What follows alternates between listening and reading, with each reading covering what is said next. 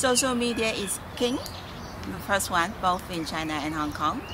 And then for China specifically, we'll be launching out to second and third tiers market Yeah. because the economy and booming. So there's a lot of disposable income being available for the brand and corporate. And then in Hong Kong, Hong Kong is gonna be always like the gateway to China, to the international, and also likewise, you know, from international coming in through to mainland China.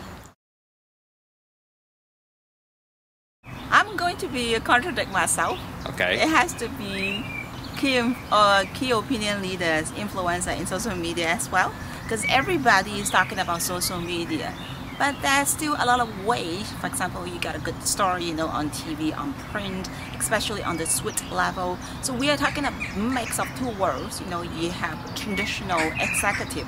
They actually don't do too much in social media. You know, if you're talking about in Hong Kong, and you know, so it's just not social media, social media. So PR will still very much have to be a mix and balance.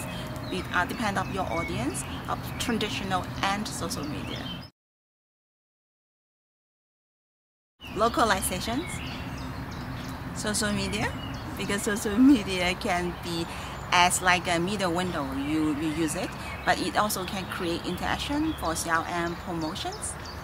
And then uh, having um, the business relevance of the globe of the global trend, adding the real case, you know, and locally. That's gonna be a very sexy story.